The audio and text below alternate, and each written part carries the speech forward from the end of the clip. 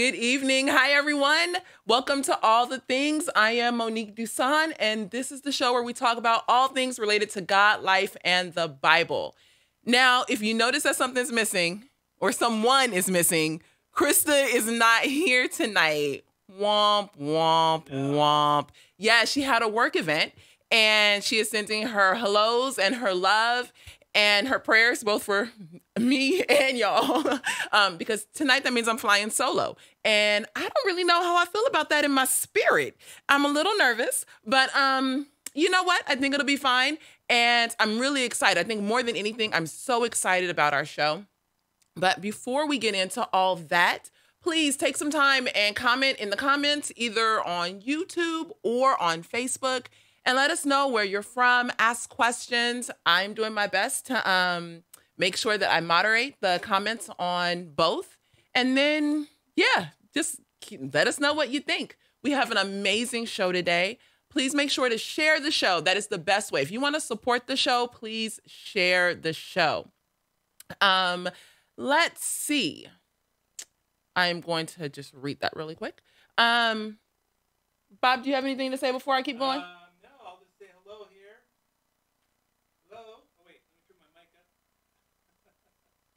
Hello there. Awesome. So she's not completely alone. I'm over here I'm punching buttons and alone. stuff. but you're doing great. Thanks. You're doing great. Um, make sure to catch last week's replay of um, our show with Steve Lively. Sam Lively, I'm sorry, with Sam Lively. We talked about all things related to Disney and how um, we are in an age where a lot of what our children see is really reflective of culture, and how a lot of the storytelling from Disney is helping to indoctrinate them into a culture that's more focused on things like critical theory.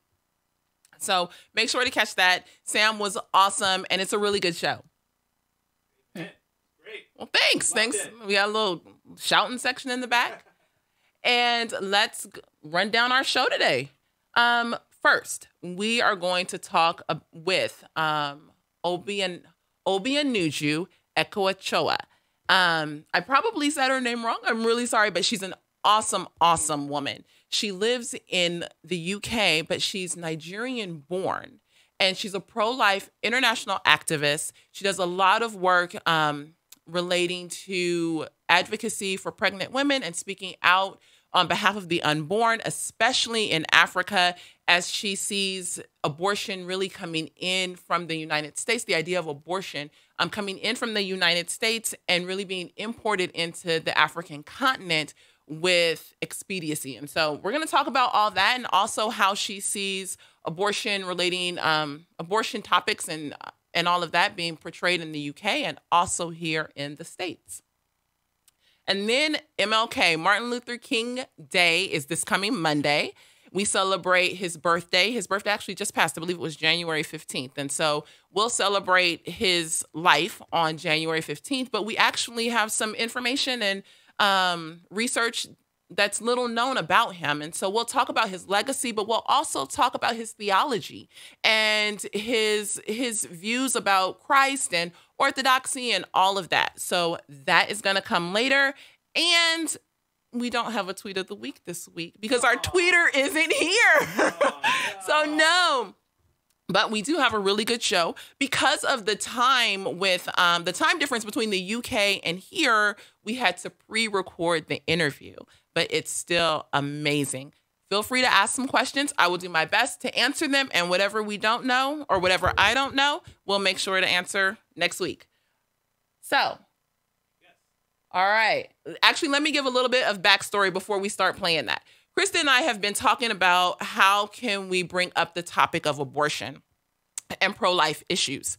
Last month, there was a bishop, Bishop Wooden from Upper Room um, Church of God in Christ. He's COGIC. Now, if you ever been to a COGIC church, mm, mm, mm, you know that that thing. Mm, mm, mm. that's all I can say. They they have an amazing. I love like the COGIC church and um, the way they worship and all of that. But the fact that this pastor, he's a black pastor, he spoke out about abortion and the impact of abortion in the black community. Krista and I were thinking, you know what, that's really important. It's an important topic because a lot of abortion, um, facilities are usually held in lower income areas. They impact Black communities at a, a, a, larger proportion. And so this guy is speaking out on it. And we were like, hmm, I wonder how else we can, you know, bring this in into the show and present it to you. So let me show you this clip first. Uh, they're running a commercial on black radio. Black radio. They're not running on white radio. They're running on, on black radio. And they're telling the black folk on the commercials that the president has cut funding to Planned Parenthood and it's designed to uh, affect women's health care choices. And, and so this is supposed to hurt us. But what they're not telling now, black people in the commercial, the funding that he cut is abortion. And he told them, he told Planned Parenthood, I won't cut this money if you promise us with this money you won't do abortions. They said, no, we're going to keep doing our abortion. He said, then you're not going to get the money. With the way abortion disproportionately affects us, I praise the Lord for that. I think I think that's a good move because I think we ought to live. We have a right to live. We have a right to live. We make up 13% of the population.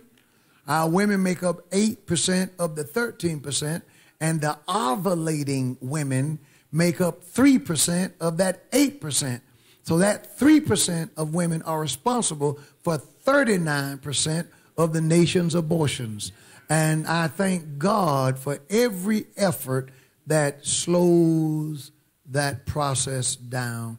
And as we've often said, that if there's someone here today who has had an abortion and you've repented, you're forgiven, praise the Lord. But but since they see they're targeting us, and here's what these people count on. I want this out there. They count on black people being stupid. Y'all, he said what he said. He said what he said. I am not mad at him. I am just like, wow, he put it all the way out there. And this this clip got a lot of heat. People were, you know, how can you say that? And it's our right to choose. And he said what he said. He said what he said. And they do. There is a target for lower income communities. There there is a target toward the black community. And what we also see is that Hollywood perpetuates this idea that it's okay. It's okay to abort your baby. It's okay for you to just choose. You're choosing what's best for you. Um, it wasn't your choice to get pregnant. You just accidentally stumbled upon pregnancy and so now you get to choose to you know not have your baby and so with this thought process happening in hollywood i think it was taken up a notch at the golden globes when michelle williams came out and i'm not sure if you guys saw this but the golden globes are a major award show and michelle williams a prominent actress came out and during her acceptance speech was thanking the fact that she could, you know, use or, or, yeah, use her right to choose. She was giving praise to this idea and saying, you know, she's so glad that she was able to choose to have an abortion because of her career and she doesn't want to have to stop her career and things like that. So let's watch this. Uh, uh, thank you so much. Um, first of all, to my Fosse Verdon Oops. family and to the Hollywood Foreign Press Association. When you put this in someone's hands, you're acknowledging the choices that they make as an actor, moment by moment, scene by scene, day by day, but you're also acknowledging the choices they make as a person, the education they pursued, the training they sought, the hours they put in. I'm grateful for the acknowledgement of the choices I've made, and I'm also grateful to have lived at a moment in our society where choice exists because as women and as girls, things can happen to our bodies that are not our choice. I've tried my very best to live a life of my own making, not just a series of events that happened to me, but one that I could stand back and look at and recognize my handwriting all over, sometimes messy and scrawling, sometimes careful and precise, but one that I had carved with my own hand. And I wouldn't have been able to do this without employing a woman's right to choose.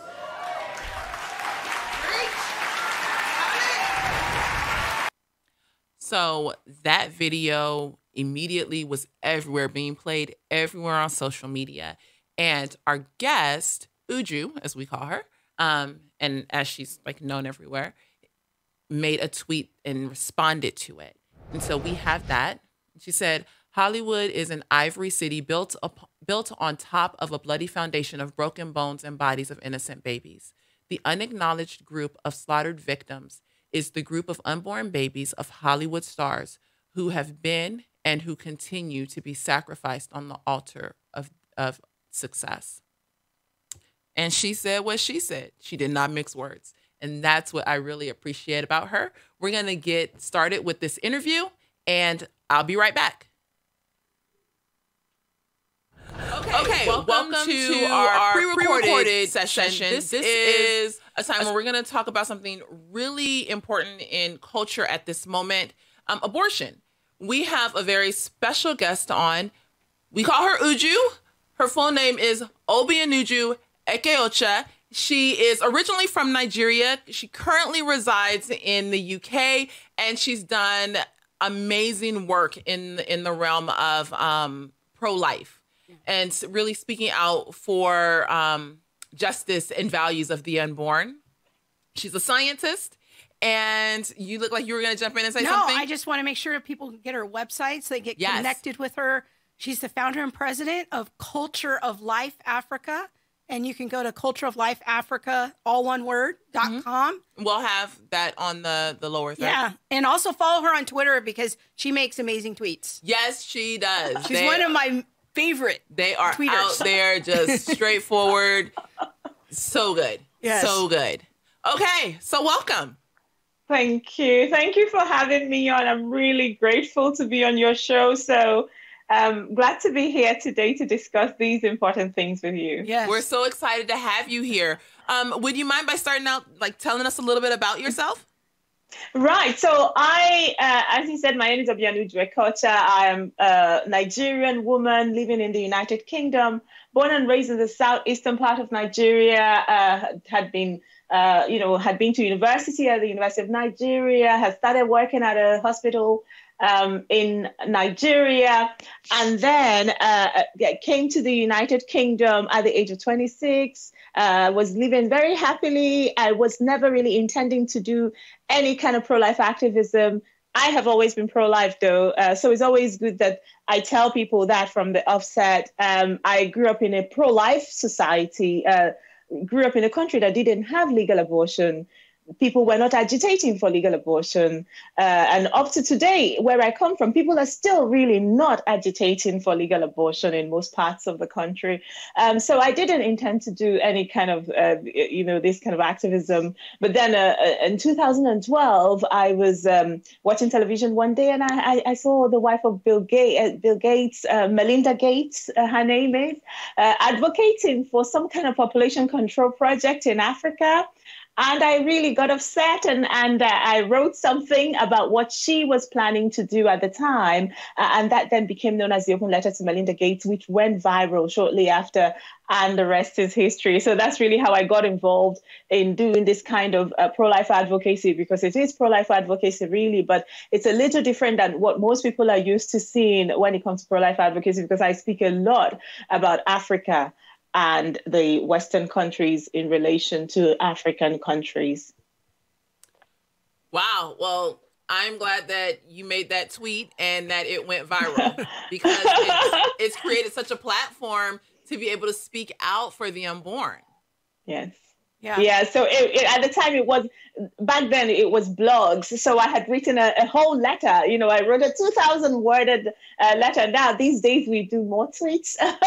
so, but it was the open letter to Melinda Gates, and people can still see now if you went uh, to Google or something and searched for the open letter to Melinda Gates or something, um, anything like that. You you might still be lucky enough to find it. Wow. So I, have been working in this realm since. Uh, I have been doing pro life advocacy since 2012, 2013. Um, Uh, but I also have remained a scientist. I was always working as a scientist in the UK. I had finished my master's and I was working by the time I did this. Uh, I wrote this open letter to Melinda Gates. So I, I did um, decide eventually to still remain a scientist. I work as a biomedical scientist in the area of hematology. So I, I work in pathology. Um, and I still actively am doing pro life work. So it's me taking on extra duties to myself but i think when god wants something he he gets to make a way so that we can we can carry whatever it is that he wants us to carry in the way of mission. Very good. Wow i'm so inspired already. Right right it's like everyday superheroes in our midst That's yes right. yes no way okay so last Sunday, I believe it was last Sunday. Yeah, a week yeah. ago Sunday. Yeah. Um, Michelle Williams came out at the Golden at the Golden Globes and spoke openly about abortion. I believe, I believe it was her personal experience with abortion and her right to choose and things like that. And you made a pretty provocative tweet about it. What were your thoughts about her speech? Yeah, so um, we have seen Hollywood, especially in the last couple of years, becoming ever more so vocal uh, about abortion issues. Uh, as I said, sorry, I, I'll just take a bigger picture view here. I grew up in Nigeria, and we were always kind of um, tied to Hollywood. We we're always so engrossed by Hollywood, even as an African girl, um, you know, looking up to America. But the America that I knew was the America we saw in movies, in good movies. So imagine me now living in the West and taking in the way uh, these Hollywood actors and actresses are advocating for abortion. What a disappointment. What a huge disappointment um, on the local scale for the American people, but also on the international scale for those of us who come from a pro life world uh, outside of the West and who have always seen Hollywood as the real heroes, as the people who have told these stories, as the people who were, you know, the real um, lovers of justice uh, and human rights. So Michelle Williams taking her award at the Golden Globes, talking about how her life wouldn't have been what it became had she not exercised her right to choose. Those were, I think, her exact words. Yeah. So, in other words, implying that she had uh, aborted her own baby. For those people who don't know Michelle Williams very well, because I know her name is, I don't think her name is household, but many of us knew Heath Ledger. That's Heath Ledger's wife when he died. That's Heath Ledger's widow. So, so this is a woman who, in a way, many people's hearts would have been with her. But then she's now going back telling us about this child she may have aborted. We don't know if it was Heath Ledger's child. We don't know. It doesn't matter whose child it was. But what she's saying is that as a woman, or what she was implying is that as a woman, we cannot really make it in life. We cannot be success- professionally successful unless we choose uh, to end or sacrifice the lives of our unborn children. What a horrible disappointment. And of course, the reaction as well to her speech or to that part of her speech, which was also something else I was tweeting about. It was the fact that she was saying uh, gladly that she aborted her child and she led her to the Golden Globes. But then it was also the reaction of the her fellow Hollywood uh, uh, actors and actresses who were sitting there, they were all applauding. Some of them were cheering. They were, you know, um, kind of celebrating the fact that she was shouting her abortion. And I noticed uh, during the time that the camera was going round, uh, one particular woman who had also kind of been in the news. Her name is Busy Busy Philipps, who had shouted her abortion or talked about her abortion or boasted about her abortion uh, a couple of months ago. So she she was also smiling and kind of crying and, and, and you know rejoicing over that. It's a shame. And, and you know that hollywood is setting this kind of example for women uh, it really is quite quite disheartening. Yeah it's hard to think about I, i'm i'm a i guess i'm kind of a career woman. I've had a family. My faith is a, a huge part of my life and shaping the life choices that i've made and women do sometimes have challenges and we do sometimes have to make life adjustments and we do sometimes have to uh, slow our career down but those sacrifices seem worth it to us. And to think about killing my child for the sake of my career i don't honestly it's hard for me to even imagine that as a thought. But i know that many people do look at it that way and, and from that worldview standpoint. But it's, it, it, I don't know if it has to be either or. I've been pretty successful in my career. I've achieved a lot. And I had two children and I homeschooled them for a, a good chunk of years. And, but the messages in our culture and Hollywood is certainly an icon of like, mm-hmm. these are our values and young girls look to them. I, it's, it's yes. troubling. It is very troubling. Uh, uh, precisely because everyone, uh, you know, everyone is watching Hollywood, uh, and people are sometimes taking their their lives direction, in a sense of speaking, uh, from from Hollywood, uh, and. It is a shame, really, because I believe that abortion is a human rights issue. If it is a human rights issue, the same Hollywood is out there speaking about social justice issues, and you know they are campaigning for things and campaigning for human rights, but then they are coming out on the one of the most important platforms and really uh, telling the world that it is all right uh, to to kill the most vulnerable in society, um, and they're celebrating one over that. And it's not even that Hollywood is like advocating choice. It, this is the on-choice because they are not even making room for pro-life. Um, anything on their platform. Uh, if there was a pro life uh, actor or actress, I don't believe that in this day and age, the, with the com- current climate in Hollywood, that they can come out to give a speech and even imply that they are pro life. That's now almost not allowed or we're not seeing that but we are seeing more and more people advocating for abortion advocating for an organization like planned parenthood uh, and and moving the cause of death really from uh, one of the most glamorous platforms that th- there is now in the world. I agree completely. Um, many things that you said were just like resonating with me. I think that the the current cultural climate in hollywood that promotes choice isn't just speaking to the middle-aged woman or you know like that 30 some year old woman who you know is is making her own choices and trying to live her own life. And you know that's still you know wrong. And i'm not saying by any means that that's okay to have an abortion just because you're trying to make your own way or anything like that. But what i am saying is that they're speaking to younger generations. They're speaking mm-hmm. to the 12 year old to the 11 year old or the the young teenager who now yes. says well it's my right it's my body, it's my right, it's my choice. And yeah. because Michelle Williams came out and said, "Oh, look what she did," that's also a viable option for me. And so mm. I don't. I, I think that Hollywood is very aware of what they're doing, but I don't know that we as consumers or as viewers are often so aware of what is happening, what's being platformed, and the message that's given to the younger audiences. Yeah, and that's why it is propaganda. That's you know that's what a propaganda is. It is promoted uh, through these powerful channels, but people who people who are doing it know the messaging is very conscious, is very um, well planned out, well choreographed, uh, very sleek messaging. But the people who are consuming it in most cases do not realize.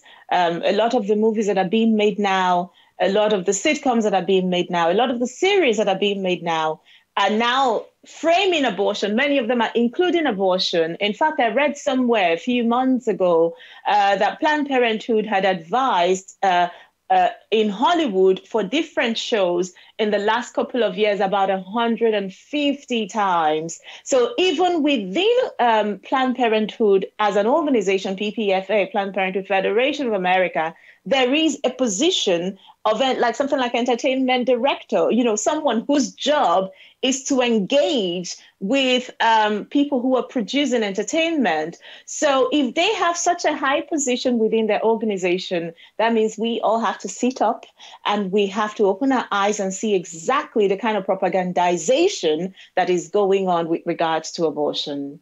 Yeah, and another point you made that I wanted to hit on um, was that this is global.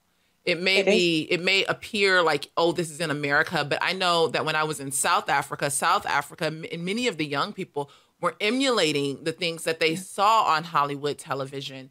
And that just goes into this whole thing and the conversation about abortion because, oh, well, if they do it in Hollywood, oh, that's how it is in America. You know, I mm. want to do the things that they do in America.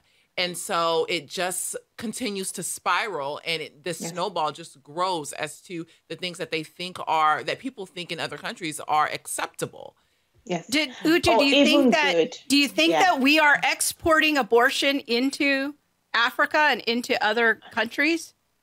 Without a doubt. And it's happening uh, through various channels. So uh, just to finish off this last thought from Monique, it's um uh it so people who are in the other parts of the world they're watching hollywood productions they are uh, watching like music videos and things like that and they are picking up these things um, people associate America or other parts of the developed world, like Europe, as the better life. So the better life, everything is nicer in America. And so if abortion is being put in this, um, you know, basket of goodies, that means it has to be good. So gradually it's seeping in through culture, into other cultures that otherwise would not have been, um, you know, kind of promoting abortion or embracing abortion. Abortion is very much into the, in most parts of of uh, the uh, African continent, um, out of the 55 African countries, four countries have what you call abortion on demand. Most of the other African countries have refused. Not only they don't, not only that they don't have legal abortion, but they've refused to legalize abortion. They don't want abortion. They continue to insist on it. Anytime that is pushed um, towards uh, their parliaments and, and different uh, houses of legislature, it's always pushed down because there is such overwhelming uh, rejection of it by the populations. So now, so whereas in uh, you know among the young people in these countries they are now picking up you know the language of abortion the very nice one. You know the one that says pro-choice um, the one that presents it as a woman's right to choose as michelle williams said the one that sees it as like an acceptable thing um, as health care as some people are now packaging it. The one i just saw yesterday and i've been commenting on since yesterday is that abortion is normal as an art exhibition in new york city so all of these things seep through to, to the developing world, uh, you know, African nations, Latin American countries, even Southeast Asian countries, uh, places where, you know, they don't want abortion. So, but then there is another powerful channel that abortion is coming because we, for a while, we have had this propaganda coming through uh, entertainment, and it's not a huge surprise. But the one that is most surprising is that governments are now in on it. Western governments are now in on it. And this is what has now made it to become um, a real exportation from the West. It's the, the that we are having uh, the West really exporting uh, this uh, particular, uh, pro, you know, pro, uh, what you like, this this particular culture, which is so terrible. so in the recent times, um, EU countries have gotten very much behind funding what they're calling reproductive health in the developing world, and a, a lot of that has to do with abortion. Um, uh, you know, uh, United States in the past has also funded, unfortunately, uh, organizations that are abortion organizations like International Planned Parenthood. Now that has stopped in the last couple of years. Um, you know, the United Kingdom, where I live, uh, they have been funding a very horrible abortion organization called Marie Stopes International that we see all over the African continent. And so, with government funding, very um, large amounts of funding, they are getting dollars and euros and pounds going into African countries, going into other parts of the developing world, uh, bringing in this culture, lobbying our governments uh, effectively. And so it's being done on the two levels of society. It's being done at the center of power, which is the political power, and it's also being done at the point of culture, which is really trying to get the very young people, but they're not ready to wait for those young people to grow up. So they're trying to get the young African generations and then they're also just going straight uh, to the heart of our politics and they're fighting these battles. So, just to answer your question, yes, uh, abortion is being imported uh, into Af- uh, African countries and other parts of the developing world. Wow. Wow. That's very yeah, sobering. It, it is. yeah. It is like it's very sobering. yeah. And yeah. yeah. So I heard you talk in another interview about the 1994 Cairo conference, mm-hmm. and I think this is a good moment to maybe bring that up too, because that sure. was a pivotal moment that I think most Americans probably aren't aware of. Yeah, I wasn't. Um, yeah, but I think it's important for us to know about that.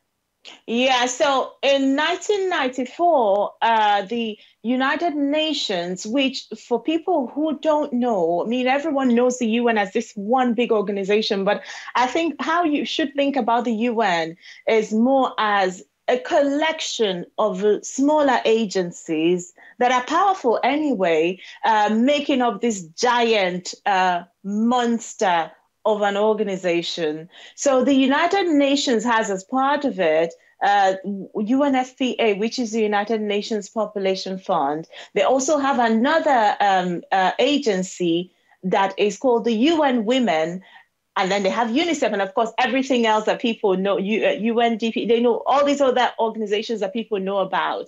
Uh, but the major ones that I'm going to talk about are these two, UNFPA and the UN Women. These are, uh, you know, kind of baby agencies of the United Nations, powerful within their own rights, uh, huge within their own rights. Get they these organizations get a lot of money from Western countries. A lot of the battle they're having now with America is that America has recently been talking about defunding them, which you know they haven't had for so many years, and so they're going crazy. So UNFPA, the population control arm of the United Nations, if I can call them that, uh, in 1994 uh, they held one of the annual conferences, but this was meant to be a landmark uh, conference. The um, the uh, it was a conference on population and development, uh, the CPD or the International Conference uh, on Population and Development.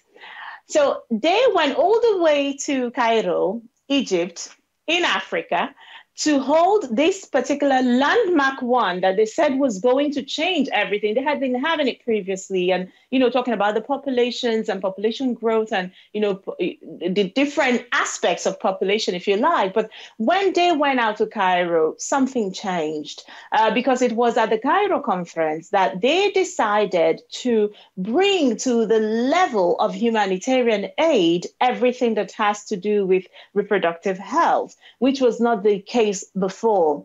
Uh, so everyone, of course, knows it's undeniable that African nations have been struggling economically. Um, it hasn't been news that people have to send food and water and all of that. You know, uh, from the 1980s, you would see hungry children from Africa. We know these images, right? Even though, yes, uh, it's arguable. Sometimes uh, they are kind of a romanticized uh, vision of Africa, which is not necessarily always accurate. But it's not a surprise. People see African uh, pictures and all that, and it's all about, you know, if someone's reason was always to help Africa. So, yes, Africa has been a destination of humanitarian aid for a very long time. Um, so in 1994, though, something changed because whereas the, a lot of the money going in was being allocated for food, for uh, you know water and sanitation, for real health care, for education, for uh, infrastructure, the economies, and all of that, we never really heard it that condoms could ever really be at the same level as food and water. But that was exactly what happened in Cairo. Uh, that the United Nations then um, put this um, sort of they put documents together, the so-called working document, then stated that really, if you decide to give $10 million worth of condom to a country in a, in a, you know, in a developing country is the same as giving them $10 million worth of food just to make everyone feel better. So they uh, had um, all of the discussions on all of that and, and the agreement was made.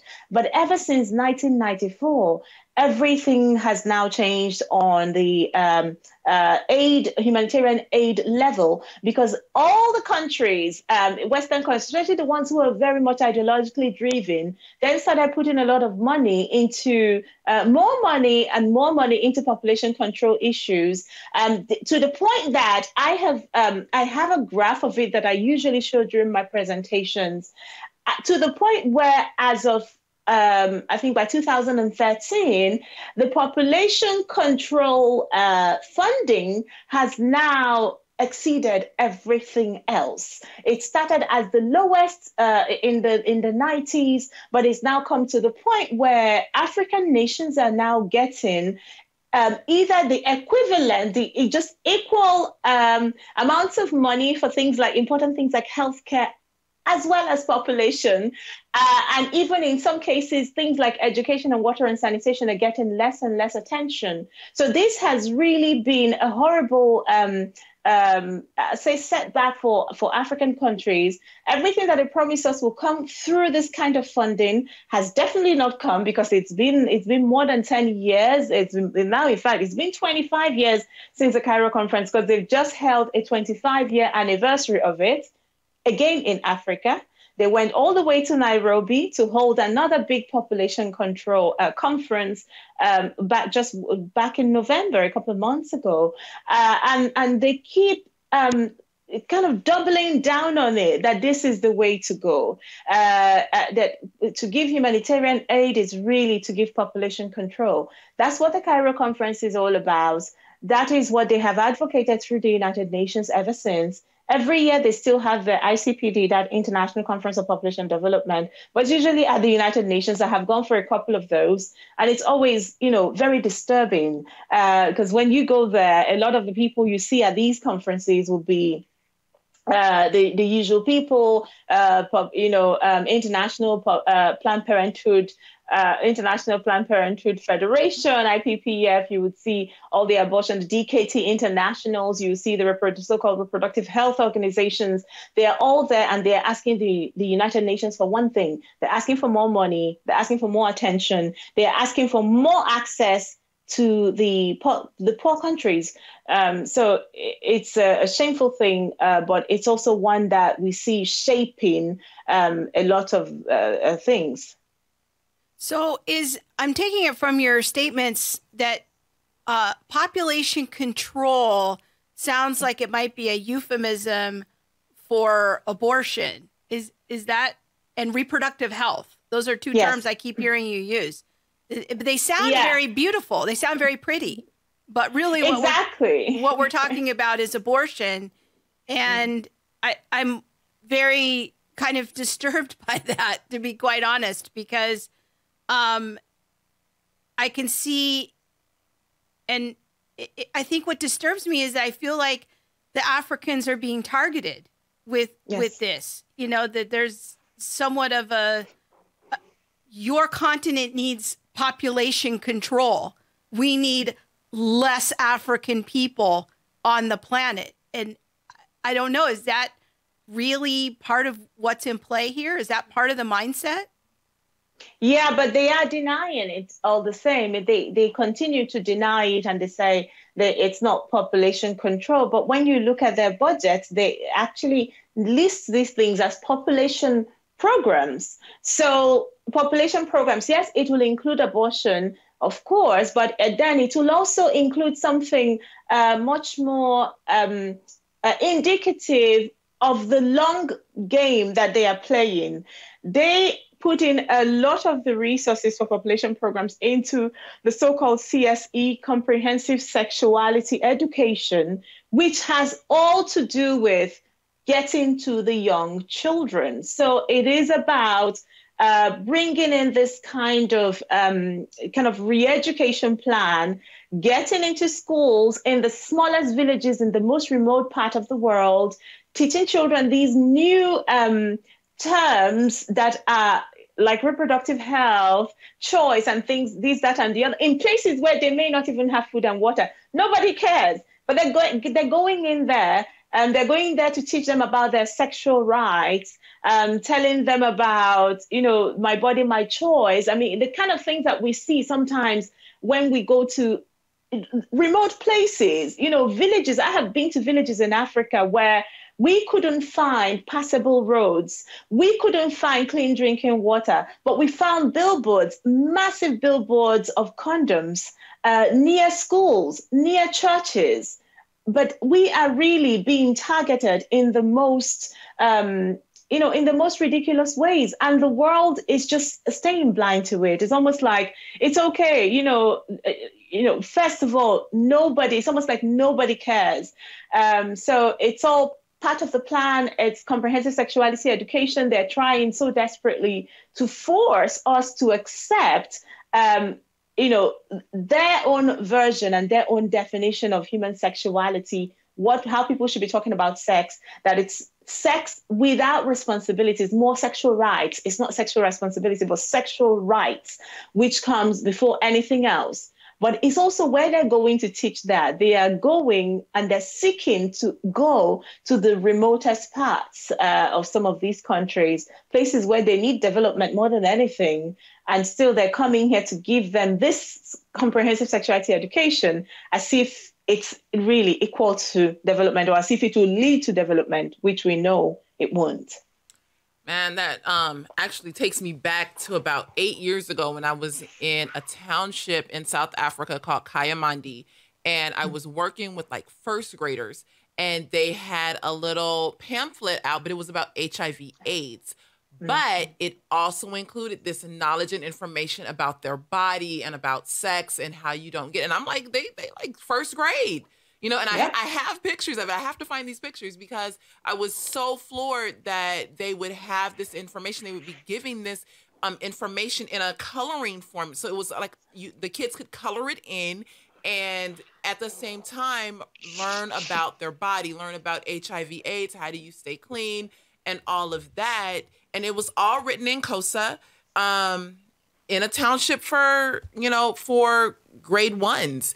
And yeah. it's like you say you know you have this township or this remote area and they don't have passable roads or you know all of the roads aren't paved or there's no running water and there aren't um, you know bathrooms in homes. But there is this comprehensive sex education that education, is being taught in the primary school to grade ones.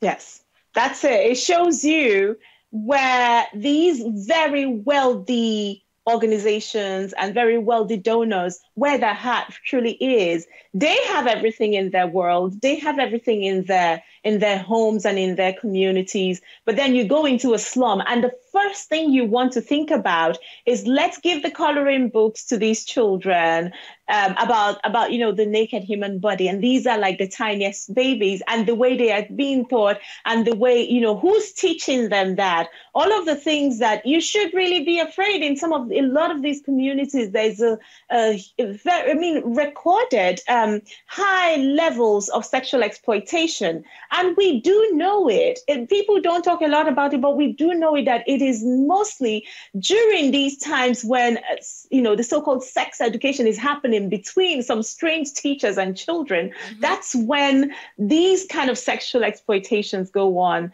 um, sexual abuse goes on in these yes. schools uh, through these projects and these projects are being underwritten and being funded by western entities but they don't care because they come in they throw this money down and they walk away what, what you should be doing or what they should have been so desperate about should have been to um, be desperate that these children's level of education um, be, be improved. You know, you want these children to get as much quality education as they can get so that they can leave these communities um, teach them the best literature let them find the ones who are best in maths and you know get their get them through their uh, their gifts out of these communities, but instead they want them to stay there and yeah, coloring about your body, about the condoms. And it was also, in fact, in South Africa, is the first place and the only place I have ever been. I've been to different countries in the world um, that where I've seen condoms in a restroom for free. Yeah, you don't have to put any coin. Yeah, you just pick it. Yeah, just, yeah, it's all over. I'm not sure if there if the statistic is still the same, but a few years ago, South Africa had the highest rape count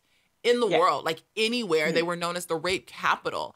And so yeah. it's it's like you're saying when when we are more comfortable addressing like how do you stay safe or you know the the whole idea of this comprehensive sex education instead of talking about your education, talking about yes. the fact that we have issues with rape, talking about yes. all of these other issues, there's something extremely wrong. It is, yeah. And, it, yeah. It's it's horrific. Yeah. Um, okay, so we've talked about it on the global scale, but let's bring it back to America a little bit. Do you think that Planned Parenthood targets low income and or minority um, minority communities here in the states? Absolutely. Uh, I think it was in a census a couple of years ago. Um, I've seen someone who has actually uh, done the calculations that about 79% as of that year, 79% of Planned Parenthood uh, facilities are located within one mile radius of a um, an ethnic minority community. Um, it is also when you very obvious and evident when you look at statistics from cities where they're collecting it. If you look at New York City, I have perused through um, the, those statistics so often, and I've gone through various years to see that it's not a fluke. That the number of births, live births, uh, for Black women um, is less in all those years, like four or five consecutive years, is less than the number of abortions by Black women. That wherever you care to check minority groups and you know and check this data following uh, ethnicity, you would see that the uh, abortion rate among Black women or other ethnic minority groups is usually higher, um, much higher, significantly higher. Um, then who is aborting the babies? It's the abortion industry. Um, and they know because it's a business model. Uh, they are doing it in the United States. They're also doing it in the United Kingdom, that in parts of London where you have Black and ethnic minority groups living in these um, uh, poorer, let's just them poorer parts of London, you will fa- always find in that neighborhood or around that neighborhood um, the abortion industry ready uh, to take advantage. It's happening uh, everywhere where you have the uh, you know the poorer people and um, even among the the white people as well in be it Europe or America you will also find the targeting of the poorer ones so uh, low income people are at risk um, the ethnic minority people are also very much at risk. I think I'm I'm very concerned because in America, I think somewhere around like 12 to 13 percent of our population is African American. Then you know if you if you say that women are roughly half of that, let's say that they're about eight percent, seven eight percent of the population, but then some percentage of that are actually ovulating and capable of having a pregnancy, you know, maybe yes. you're at like 5% or something of the total population is having like 30% of the abortions. Mm-hmm. Yes. It, it, seems so disproportional. Mm. Um, so it, it does, at least on just a superficial look at the statistics, it does seem like the Black community, ethnic minority communities are being targeted to, to some degree by by abortion clinics, Planned Parenthood, and that sort of thing. Yeah, and also the messaging. You will see it in the messaging. Last year, there was a day I just sat through. I said, I'm going to sit uh, online, and I was going through some of the abortion organizations, particularly in America, because they're very, let's say, they're very good in social media, if I can say that. They're constantly, you can you can see that they're playing their you can see their hand you can see what they're planning by going through their social their social media pages or platforms if you have the time just do that. That anytime i see something like NARAL um, doing a, a, kind of advertisement or they're doing a publicity thing they use black women a lot. They use you know what you call in america? Women of color. Okay i'm not american so so yeah. So i always see americans saying the women of color so yeah they always find a way to use black women um, in the art or in the uh, pub- publicity things done. So even when they, they write articles, you know, these uh, pro-abortion websites, even the, the um, websites like Reuters. So it's they do use black women um, whenever they're talking about choice, body right, you know, or they're fighting um, any kind of pro-life law that comes out in Alabama or wherever. If you see the article, most times um, they will use a black woman um, to show that we, you know, they're taking away rights, they're taking away our rights. So they're using black women constantly um, as a, a shield for the entire abortion industry. But if you think about it, who is in charge in the abortion industry?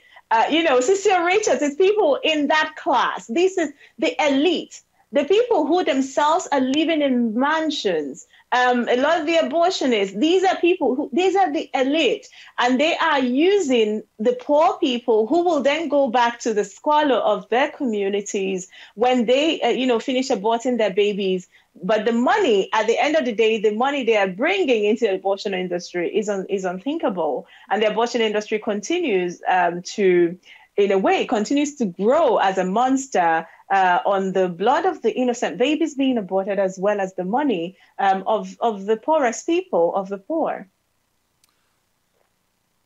That yeah, we just a... don't sit here. We need to just breathe for I know, a minute because that is powerful. I have so many thoughts, but go ahead with your question. Well, I was just gonna say that, um, you know, I don't really know what I was gonna say okay. anymore. yeah.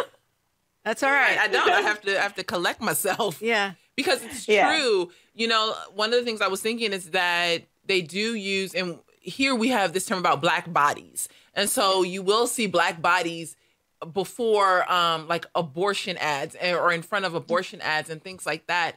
Um but we also have this huge conversation happening right now about diversity.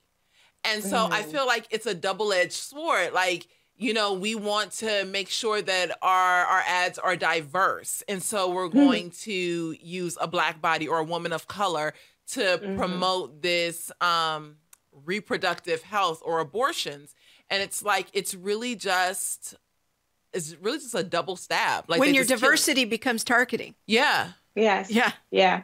So they know what they're doing, though. They yeah. do know what they're doing. Uh, it is. Uh, it's very unfortunate that when they push so hard for that diversity is when yeah, when it has to do with abortion. Yeah. Mm-hmm. And at the end of the day, it's the black babies that don't make it. Yeah. It's you know, it's the the the offspring uh, of of the African Americans that just are not there. Uh, and the populations of the African Amer- Americans should have been higher by now, um, it, you know, with regards to the rest of the population, but it's not because the, you know, a lot of the babies are, are going by way of uh, Planned Parenthood.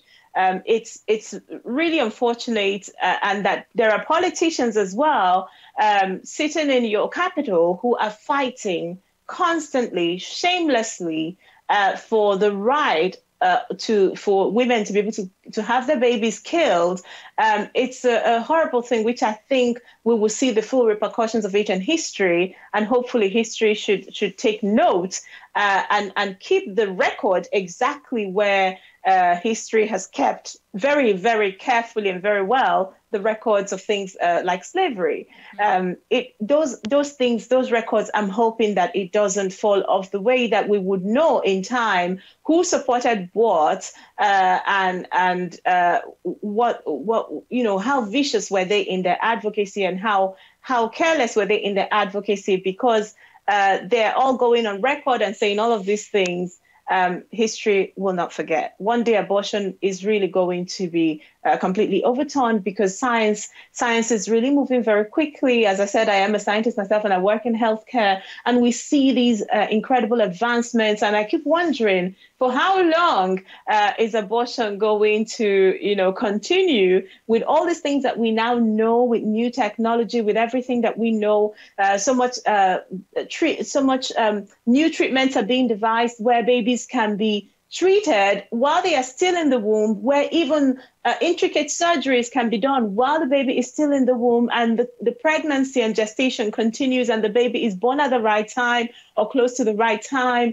How long are we going to be able to uh, continue to tell the lie uh, that the child in the womb can be disposed of when we are also putting in a lot of money to save the life of that baby or to make the life of that baby better by giving treatment long before uh, long before birth. I work uh, in hematology, and there are actual tests that we do to find out things like blood group of a baby long, long, long before the baby is born. So science is really advancing and i'm so grateful for that that's one thing i love really about just you know life in the west is that we see science moving moving and it's moving in affirmation of the uh, sanctity of human life.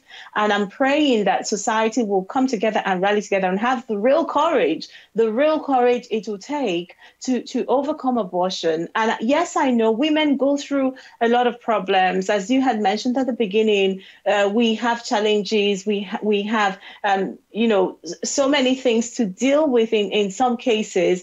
Uh, but I also know that society c- can and has changed for the better, that people are making more room for women to give women care, to meet women at the points where they need help, to give help to women who are in crisis situations, to accompany women who are in who are being who are fearing for their lives, or you know those who feel they really desperately have to abort their babies in order for them to survive maybe an abusive relationship or, or something. Uh, no, society is getting much better, and I hope that we get all that much better that women can then good women can get that real assurance that society is with us. And so we can together um, abolish this horrible, horrific practice called abortion. Boy, that's such a good place to, to land the interview, Uju. And I just, as I was reflecting on what you were saying just now, I was thinking about the great loss of all the potential future scientists and priests and politicians and mothers and fathers and and others who could contribute to making the world better, who could contribute to improving things and finding cures for diseases. Um, and I just love how you you ended that in such a, a positive place because our hope is that someday th- this atrocity will be overturned and we will have a different sensibility as uh, as across the board in all countries that, that human mm-hmm. life is valuable and that we want to work to cultivate life rather than yes. than death. Yes. So yeah. One of the things that um I wanted to ask you at the beginning, and I completely um skipped over it and forgot, but um, I know that you're a woman of faith, and I wanted I wondered like how does your faith um impact you or um compel you to speak out about these things? Yeah, that's fine. I know you wanted to ask it at the beginning, but it's good that we can still talk about it towards the end because I think it's also like another good place to to uh, kind of uh, round things out.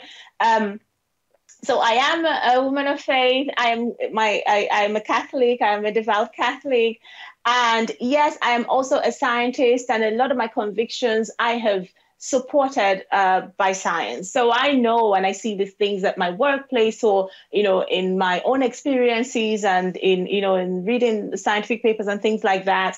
Um, so that is the one thing. So the conviction is there, and the conviction can be there even for people who are not yet convinced by faith. But this is what my faith does. In this fight that we fight, we do have real opponents who could even qualify as enemies, who see us as enemies. Uh, when you see them reject pro life people, you would know that we do have enemies, even if you don't call them that.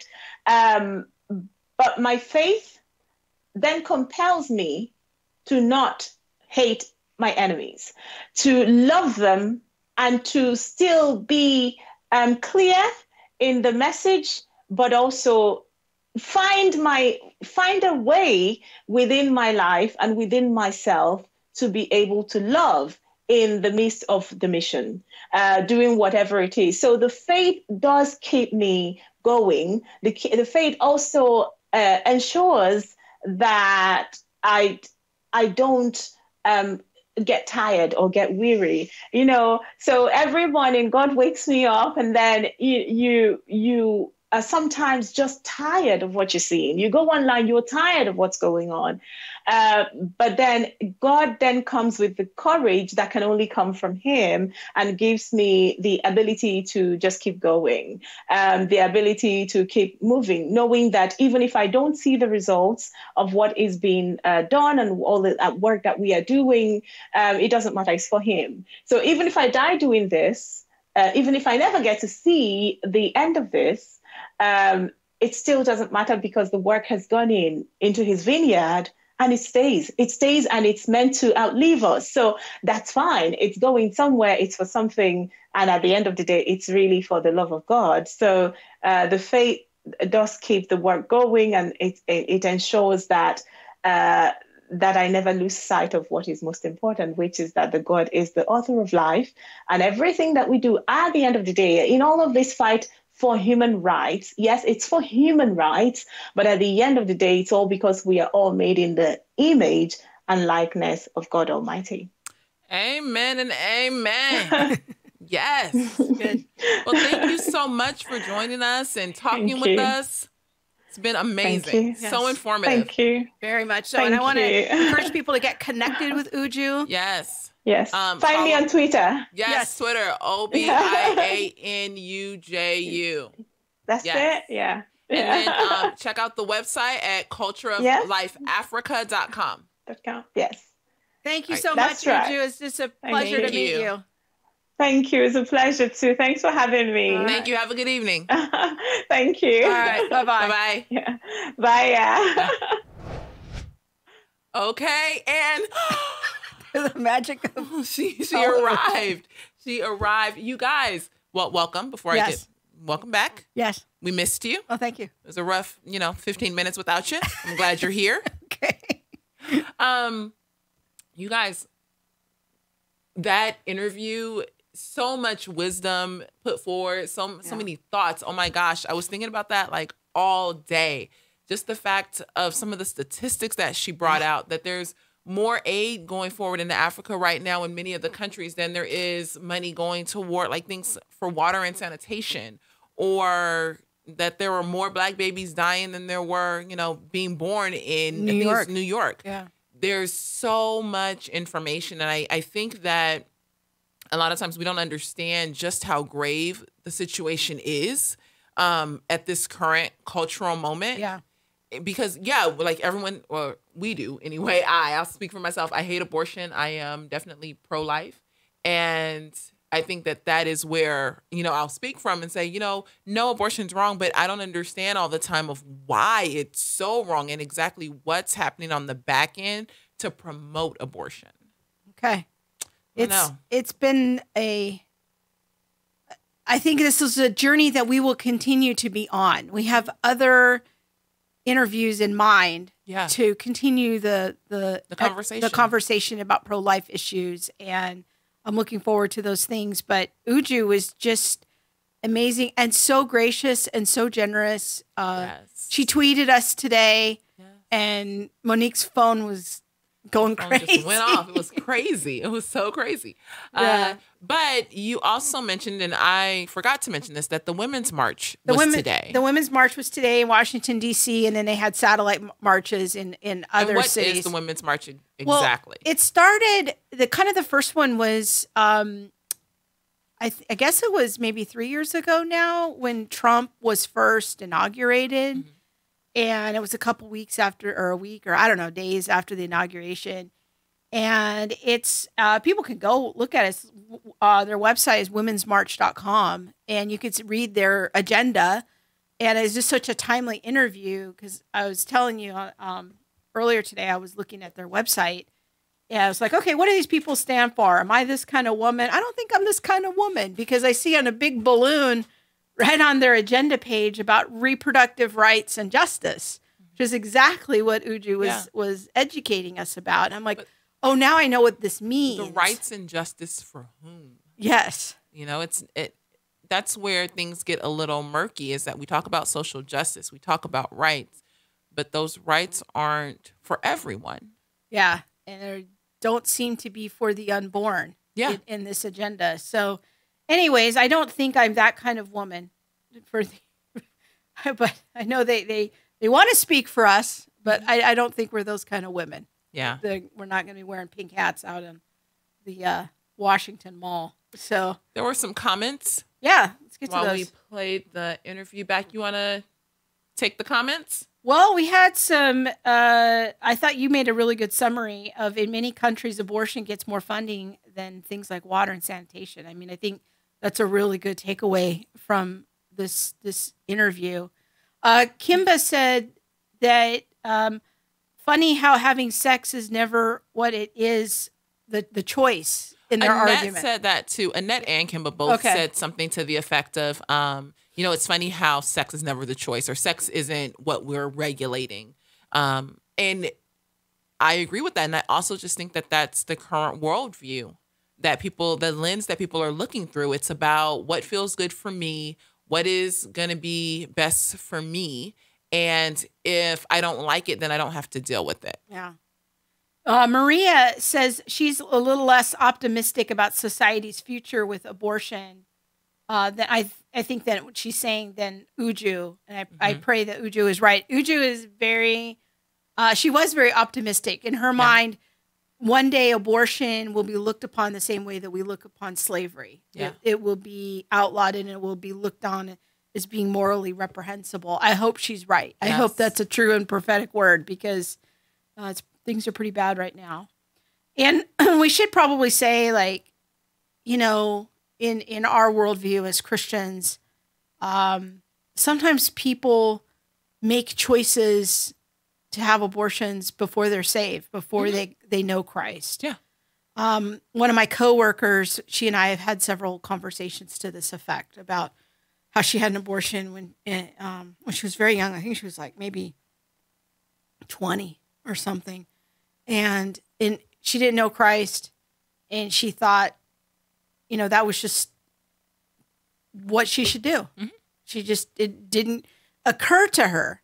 And then she said, after she became a Christian, within like minutes after she became a Christian, the Holy Spirit just convicted her of, oh my goodness, mm-hmm. I killed my child. Wow. And so no matter where people are in their journey, we do want to assure them that, you know, there's there's forgiveness, mm-hmm. there's grace, grace. Um, and if people have been injured in terms of an abortion emotionally, and, and it's, it's often a traumatic event, um, there's help. If you go to your local pregnancy resource center, they usually have small groups uh, to help people recover from that trauma. My I have a very good friend who has been leading those groups for years, mm-hmm. and she's a, an abortion survivor. She had three abortions, and now is a very dedicated leader to helping other women come out of that trauma. So, you know, there's no shame, there's no condemnation in Christ, and you know, there's forgiveness for that. Uh, so we don't want to be tackling this sensitive topic without at least saying a word about that. Yeah, and we also don't want to enter it in a place of like condemnation and judgment. Yeah, you know, but we will speak out and speak truth into the matter and the situation. Yep that yeah. it is murder, it is killing. Um, Kimba says, Kimba says, I don't know any woman that has had an abortion that hasn't suffered emotionally. Uh, but the, you never hear the other side talk about that part, and that's that's very true. It's not talked about very much. I mean, recently there was a Twitter campaign of like "shout your abortion" or some hashtag, oh. and I thought wow, that's sort of vile. Uh, but yeah, you just don't hear the other side talk about that. I I too have friends who have had abortions, and you don't hear about the the ugly side of the after. You know, yeah. what happens after after I get home, yeah. after I, I've done this and now I need to wrestle with my emotions and guilt or, you know, yeah. all of those things. Yeah. So again, we'll continue these conversations and But this was a good one. This was I really oh, like man. this one. Share this. Share. You share, guys yes. Should we have to talk about the share? This is well, I need one. powder. I've been working all day. Like this is this is not okay. Uh, Sorry, folks. I don't know okay. what to say. Should we go on? Yes. All right. So the mega Martin show. Luther King. All right. Yeah, yes, the mega show. People, fasten your seatbelts, buckle in. Um, Martin Luther King, Junior. Junior, yes, whose real name was Michael. Yes. Yes. I, I learned that. Yes, his, his real name is Michael, mm-hmm. and he was a Michael King junior uh-huh. Um, and then his father went on like some trip and I want to say it was a trip to, I don't know, some religious place. I don't really know my religious places, folks. Let's just be clear. But he went on a trip to a religious place. And he was, his father was a pastor, like a devout Orthodox pastor. Baptist. Like he, yeah, minister. Baptist, but yeah. he believed like in Orthodoxy and all that, and changed his name. And then changed his son name because they will be Martin Luther. And yeah. I was like, that's deep. Now, uh, are you going to change your name to Mary? No. You can have Mary one, Mary two. No. I don't know. No. Okay, never mind. All right. So MLK is a federal holiday. It's coming up on Monday. Yes. So we thought it would be good to spend a little time talking about that. Now, I jokingly refer to it as Black People's Day. Okay.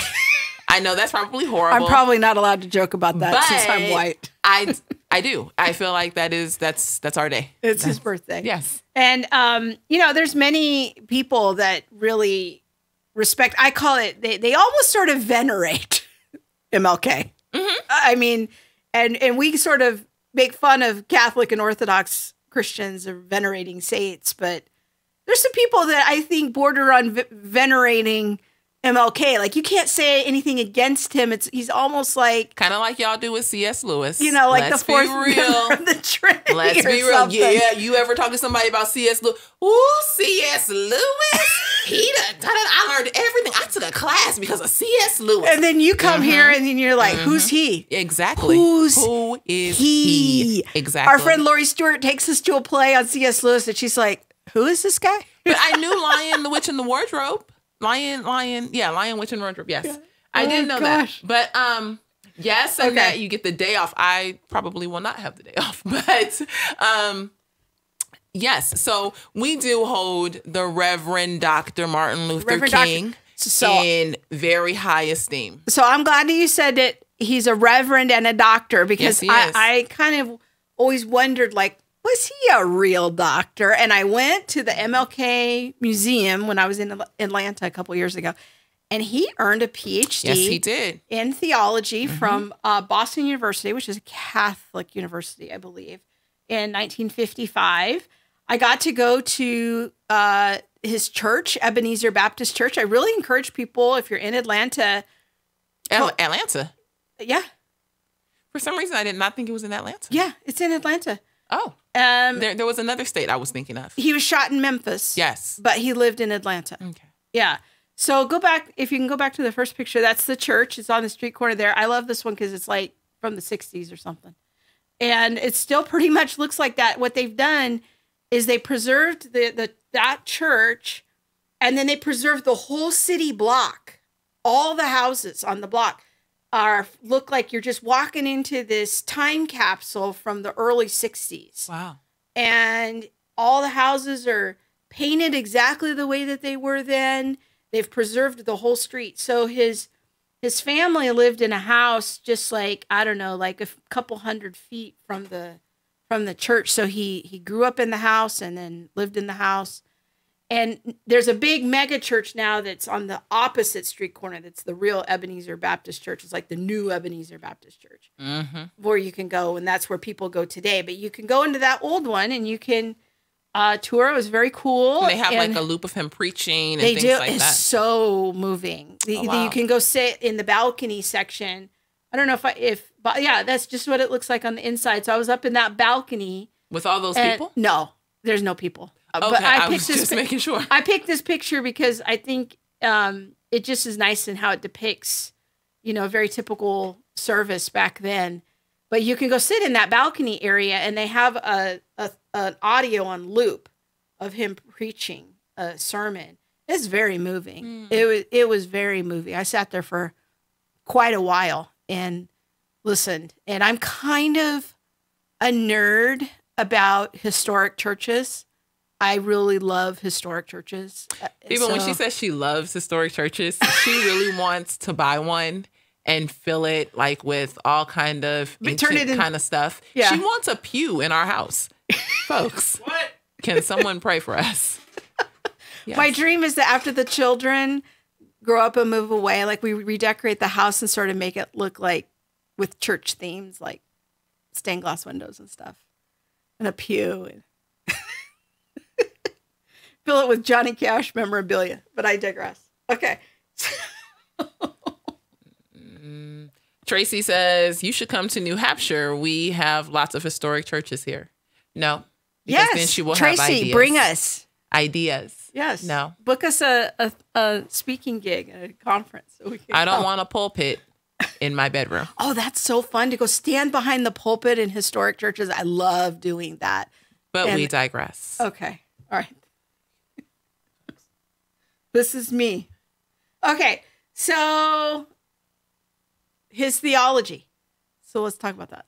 Well, okay, wait. Before we get oh. to his theology, okay. let's talk about why we celebrate him. Why, why do we? he is like because he was such a voice for black people. Like when when he came on the scene, And I feel like he was like the beginning of the civil rights era. He was the one who really said, you know what? No, I know that people are like throwing water hoses on you and they're letting their dogs loose on you and they're spitting on you and you can't drink from the same water fountain or use the same bathroom. But we are not going to participate and retaliate the way that people may expect us to. Yeah we're going to peacefully protest. We are going to show our resistance in a different way. Because at the same time, you had um, Malcolm X, who was by any means necessary.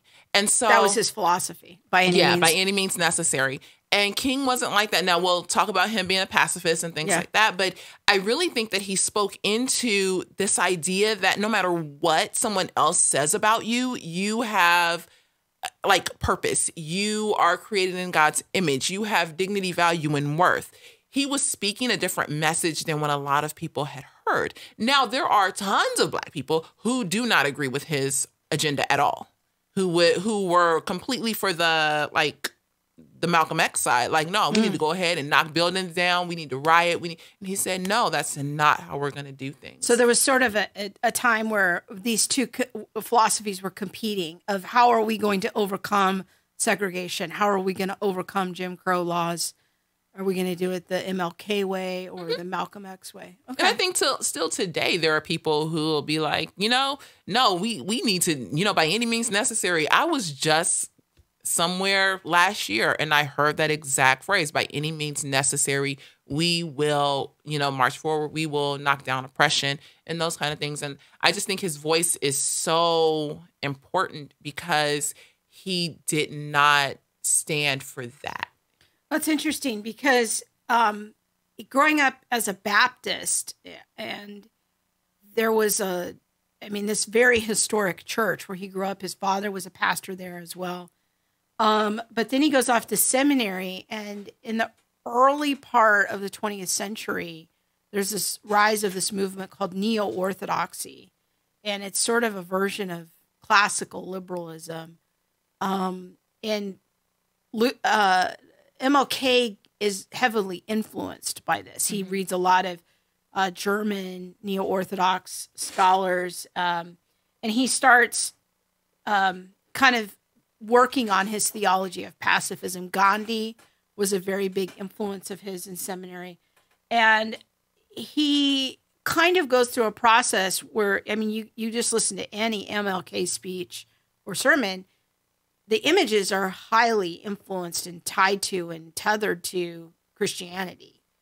But he's this kind of mix of historic Christian terminology, but through the lens of classical liberalism and neo orthodoxy. He really is a pro, a product of t- 20th century theology in in many regards and but I think what's really interesting to me about MLK is that he had a very well developed um, theology of work and of humanity. When we call this in the technical term for this in theology is anthropology. He had a very rigorous doctrine of man. And I think it was mostly correct. I think that it was a good and helpful corrective to um, the church at this time. And uh, he really just had a very robust theology of what it meant to love your neighbor in a very tangible way. He wasn't interested in just talking about heaven as some pie in the sky thing. He wanted to fig- he wanted to have conversations about how do we love our neighbor now? Mm-hmm. How do we bring the kingdom of God here now? And how do we build up each other's dignity in the image of God and and see people as inherently valuable. So it's from that theological foundation I actually think is very orthodox and sound that he builds his intellectual project of the civil rights struggle. And I think it's important to put him in that context is that that part of it really came out of his theology. Yeah. So is it okay if we play the clip? You know, or did you want to add a comment to that? No, no. Okay. Nope. I'm going to save my comments for the end. Okay. Except for Maria says that she used to have a pew and she's still looking for one. And I was like, whoa. See, Maria gets me. Wow. Okay. Yeah. Keep going. That's my language right there. Okay. So we're going to listen to a little excerpt. You can go on YouTube and watch the whole thing. But what I love about this is it's from a junior high school. MLK goes to a speak at a junior high school in 1967. And I'm thinking, this is this is how far we've fallen, people.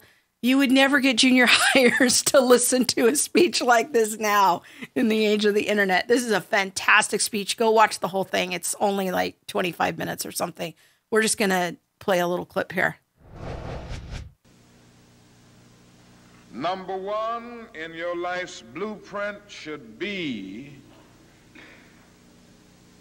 a deep belief in your own dignity, your own worth, and your own somebodyness.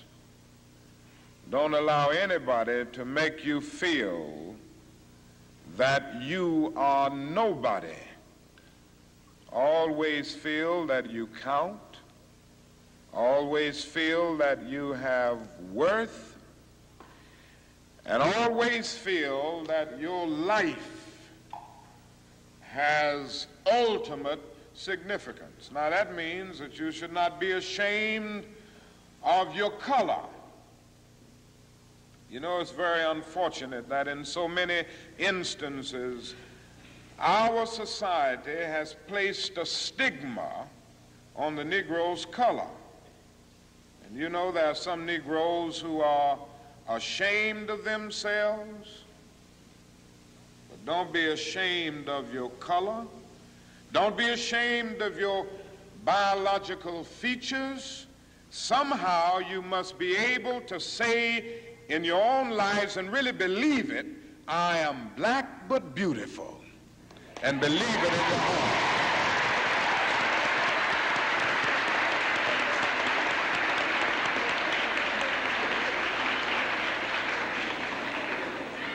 And therefore, you need not be lured into purchasing cosmetics advertised to make you lighter.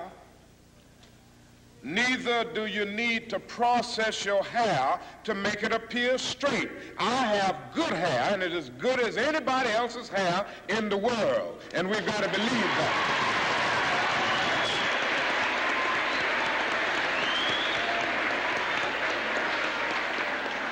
Now, in your life's blueprint, be sure that you have that a principle of somebodyness. Secondly, in your life's blueprint, you must have as a basic principle the determination to achieve excellence in your various fields of endeavor. You're going to be deciding as the days and the years unfold what you will do in life, what your life's work will be. And once you discover what it will be, set out to do it and to do it well. And I say to you, my young friends, that doors are opening to each of you. Doors of opportunity are opening to each of you that were not open to your mothers and to your fathers. And the great challenge facing you is to be ready to enter these doors as they open. Ralph Waldo Emerson, the great essayist, said in a lecture back in 1871 that if a man can write a better book or preach a better sermon or make a better mousetrap than his neighbor, even if he builds his house in the woods, the world will make a beaten path to his door. That hadn't always been true, but it will become increasingly true. And so I would urge you to study hard, to burn the midnight oil. I would say to you, don't drop out of school, and I understand all of the sociological reasons why we often drop out of school. But I urge you, in spite of your economic plight, in spite of the situation that you are forced to live so often with intolerable conditions, stay in school. And when you discover what you're going to be in life, set out to do it as if God Almighty called you at this particular moment in history to do it. And just don't set out to do a good Negro job, but do a good job that anybody could do. Don't set out to be just a good Negro doctor, a good Negro lawyer, a good Negro school teacher, a good Negro preacher, a good Negro barber, a beautician, uh, a good Negro skilled laborer. For if you set out to do that, you have already flunked your matriculation exam for entrance into the University of Integration. Set out to do a good job and do that job so well that the living, the dead, or the unborn couldn't do it any better.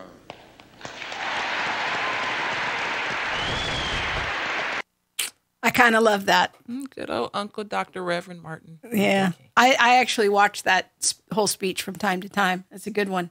Well, let me ask you a few questions about it. Okay. Some things that he says there. Again, this is junior hires, people. He's quoting Emerson to junior hires. He's using words like matriculation. I love that. This is how far we have fallen as a culture. Okay, so let me ask you why does in the beginning I, I well first of all I love it that he talks about this idea of somebodyness. Mm-hmm. That's a theme that you hear in a lot of his speeches of don't ever let somebody tell you you're not somebody. Don't mm-hmm. let them deny your somebodyness. To me, that is very echoing of the idea of being created in the image of God, mm-hmm. having value, dignity, and worth. Yeah. Maybe you could comment on that. Why do you think that was an important, timely issue for him? I think it was important because even though slavery had, well, ended maybe 100 years before, during that time, we were not considered full people, full human, you know? And so then you now have to kind of unwind yourself from all of that. What does all of that mean? Like, I understood, or they understood that they were full people, but according to the law, they weren't.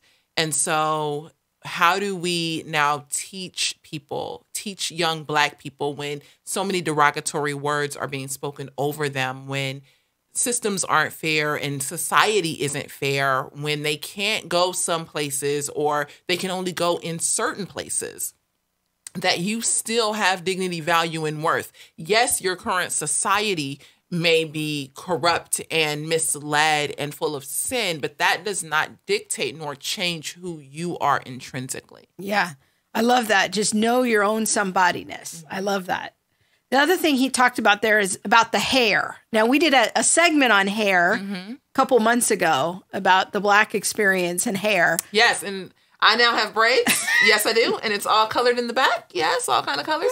Um, so why does he say be proud of being black, be proud of your hair? Like, why is he telling junior high kids that? Because hair, skin color, eye color in society at that time was one way. It was white, it was blue eyes, it, it was, was, straight, straight hair. Yeah. And if you didn't have that, then you weren't beautiful. Beautiful. You know, if you were a darker skinned black person compared to a lighter skinned black person, the darker skin wasn't as beautiful as the lighter skin. You either had good hair or you had bad hair. You had good hair or you had naps.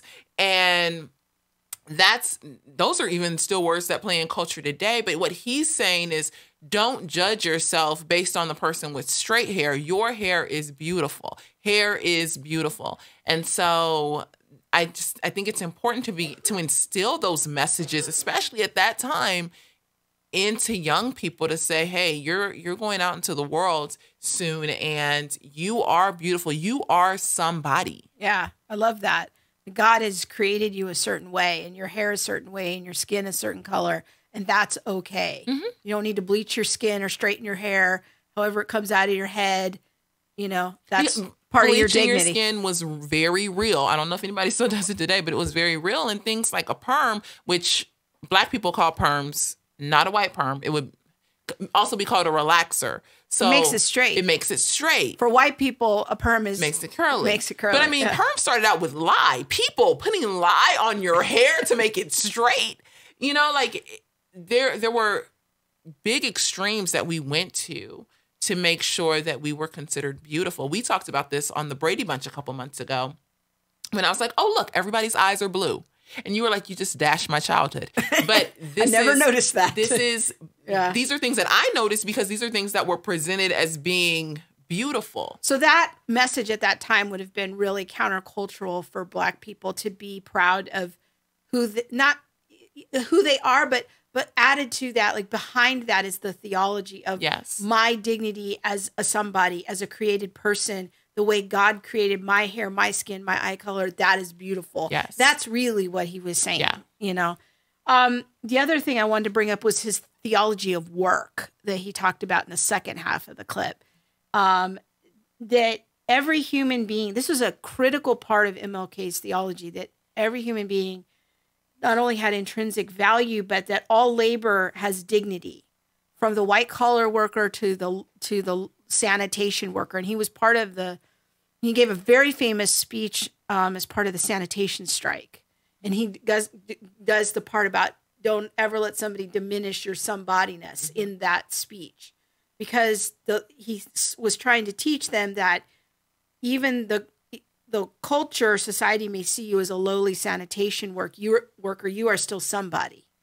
And that is a very powerful part of his theology that I think is is very good and robust and biblically accurate.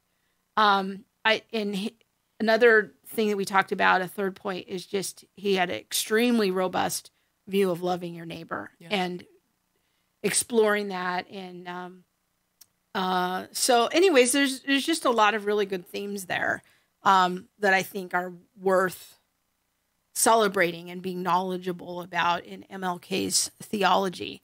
Now for the more kind of uh, I'll call it area of concern. Areas of, that, pe- that people good, may not be aware yeah, of. Yeah. And to me, it, I, I battled. I honestly did. I, I battled with this part of it today. Um, but after we kind of go through some of the areas of concern, I'll say why I think it's important that people know about this. Okay. Well, as I said earlier, MLK was a classical liberal. He did rethink historic Christianity through the lens that you know that he had grown up with more of a historic Christian faith in the traditional Baptist setting, but then he kind of detaches from that a little bit in seminary, and so he kind of picks up what we would now call more of a social gospel, and and um, he did reject a lot of what he called biblical liter- literalism. Um, for example, he didn't believe in the story of Jonah was a real story, a uh, real historical event. He ref- there's record of him referring to the Bible as mythological. He doubted whether Jesus was really born of a virgin. Um, I think I have a graphic here um, from a paper. There's um, yeah, there's Stanford is preserving a lot of uh, King's lesser known writings. You can go search for this essay, The Humanity and Divinity of Jesus, where he talks about his theology. And this is a seminary paper, so keep that in mind. Um, you know, it's a, it's a seminary paper. Mm-hmm. And so, but he has some some discussion in here where he denies the orthodox view of Christ's divinity. Um, he thinks that he was divine, but not in the not in the, the normal sense the of historic, like that he's yeah. all God. Yeah. Um, but that I was when I was reading it, I was like, what like what do you believe? It's not that yeah. he grew into his divinity, but that his divinity came because of his obedience. Yeah. Yeah. And so I was like, oh, I haven't heard it that way before. Yeah. So he was um, kind of born human and then he became God sort of through obedience. Through obedience. It's um, a very unorthodox view of Christ's divinity. Yeah, and so in the end, he even says that the Orthodox view is basically wrong. Yeah, like he he pretty much is clear, you know, yeah. in saying that. So he would be definitely out of step with, you know, the ancient faith traditions of Catholic and Orthodox and and even the historic Protestantism. He he was definitely a 20th century classical liberal, um, neo Orthodox liberal. It, I would squarely place him in that tradition. So, you know, I think that with MLK, it, you know, we have to kind of think of him as a somewhat of a complicated being. Like there's some people who are saying, "Oh, he denied, you know, the divinity of Christ, so therefore he's not a Christian." I'm in no position to judge that. Yeah. I don't know. It's not my that's place. Not, that's not, not my business. My place. God hasn't made me the judge over that. Uh, that's the Lord's business. I, I, he doesn't have a hundred percent heretical beliefs. He does have some beliefs that technically I would say are outside of Christianity, but he also, like I said earlier, has a very robust theology of work and robust theology of, of man. So those are good things. And I'm just trying to put him in his historical context. So maybe you can just talk a little bit about his legacy. Uh, I think it's important that people understand this part because as a kid growing up, every Martin Luther King Day, there's the Martin Luther King Day parade. I don't know where all of you guys live, but usually Martin Luther King Street, Martin Luther King Jr. Boulevard is what it was always called in every state that I've been to. I find one, but it's usually like in the lower income area. And I'm I don't really know what that's about if it's like a we can only put it here, but um usually wherever I've been, Martin Luther King Day parade, no matter what state I've been in, the parade is going down, folks. You have the high school bands out. You have people selling, well, usually selling bean pies in LA. I mean, I grew up in LA, and what's so, a bean pie? Oh, they're like the little Nation of Islam pies. They're a little bit, yeah. It's a whole nother show, whole nother topic. But you or you have people Google that. All right, um, selling pies. CDs and DVDs um, probably usually bootleg, there's like it's a whole situation and event, um, and it's it's a lot of fun. It is. And in church, though, on Martin Luther King Day, like the Sunday before, they're talking about it. There's some kind of showcase. A, kid does a speech, like something, and um, but what I was going to say was it's important to also bring it full light, full circle, so that we can understand. Like we we promote him in church as being someone who held to orthodoxy. We pre- we um, present him as being, you know, fully Christian and fully Christian. You know, he didn't, you know, question scripture. Yeah. You know, Father, Son, Holy Spirit, Martin Luther King. It, so I think it's important that we have realistic views of people as well because we're people. And when when we are presenting someone to me before the congregation, I think it's important to know like, hey, this is what he believed as well. And that doesn't diminish his work. He he did amazing work. Yeah. And he also had these views that don't line up exactly with scripture. Yeah. And so how do we how do we hold both?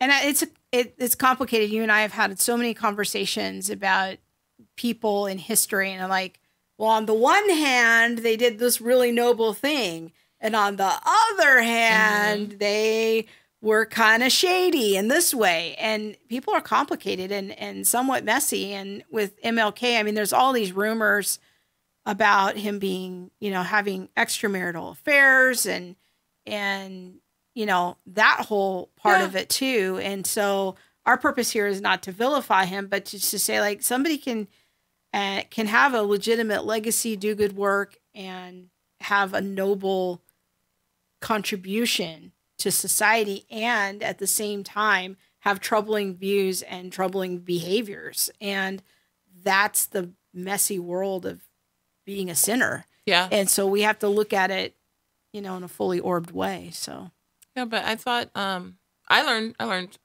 quite a few things doing this and reading um, the thing put out by Stanford. And at the end of the day, I'm like, good old Uncle Dr. Martin, Reverend Luther King. You know, um, you know, I'm. I'm thankful for his work. I'm thankful for the stand that he took. Yeah. Uh, and you know, he also has views that don't line up with mine. Yeah. And it doesn't negate my gratitude for the life and legacy that he lived so that we could move forward in society. That's a good word. Okay, we better wrap it up here on the mega edition. This really is a mega edition, folks. All right. Real quick, we're going to have the tweet. Oh, y'all, she came back and she came with a tweet. Because remember, I was like, we don't have no tweet, but we do. Uh,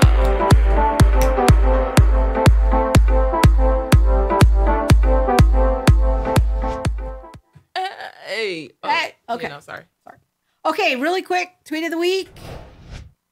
No, pie. Oh, it's bean pie. Sorry. Bean pie. No, no. Ew, that's nasty. I had to find out what it was. I don't even know. There we go. Okay, the tweet of the week. Oh my word, I have 20 notifications. Oh no, that's you. Okay, uh what? is uh, Alisa Childers. I was on the Alisa Childers podcast. It's like so amazing. I can't even believe it. It's like I was a guest on my favorite podcast. How is this my life? That's awesome. It really was awesome. Yeah, that was very exciting. So, anyways, the tweet of the week is go listen to my conversation with Alisa Childers about MOPS and the research that I did uh, in that whole endeavor last summer and fall. Um, and you can go check that out on Alisa's website. And so the title of the podcast is Is MOPS Shifting Toward Progressive Christianity? You can get it on Apple Podcasts, just search for Alisa Childers. And you should people should be subscribing to Alisa's podcast anyways, because she's like, pretty awesome. It's a great podcast. It's it really is my favorite podcast. So she has great content. So, That's anyways, it. That's it. Hey, um we made it to the end. We made it to the end. Please go and check out our website. Yeah. Allthethingsshow.com. Like us on Facebook, All the Things Show and share share us yes that's the like best follow. support we can get we love love love and need the the shares yeah help get the word out uh, you can catch our podcast on apple podcasts google play spotify mm-hmm. and if they want the video version they can go on youtube yes wow. hey like me you can like me on twitter if yeah. you're on twitter in the twitter world connect with me at um what am what am I? The real Monique D. I I do go on Twitter. I do. The real Monique D. And you are everywhere as Theology Mom. Yep. Twitter, Hi. Facebook, all Twitter, the things. all the things. Yeah. Um, and you know what? What? We made it. We made it to the end. Yes. And next, next week, week is Oh, yay, next week. Is the Women in Apologetics conference. So make sure that you've subscribed to the live stream. If you can't see us in person, if you do come to Biola, y'all better introduce yourselves. Yes, if you come to Biola, introduce yourselves. Um, if you can't get there, have a live stream party. Host, yes, host some people. Have them over for lunch or yeah. breakfast and lunch, and watch the the the conference. It's going to be awesome. Natasha Crain's going to be there. Um, Alycia yeah. Wood from Ravi's Ar- Ravi Zacharias Ministries. Yeah. We're going to be there. Uh, Lots of people. Yes, Hillary Jane, Jane is going to be there. Gonna Jane be, Pantig's going to be there. Laurie Stewart. Yes, all our all past people. All our past guests. All the people are going to be there. Don't miss it. It's going to yeah. be so good. But we're still going to have a show next week. Yes. Yes, we will still have a show next week. So plus we may have some spontaneous uh, live streams from the conference. So make sure that you're subscribed and have that notifications bell on. Yes. So, all right, my friends. Thanks for watching. Peace out. Bye-bye.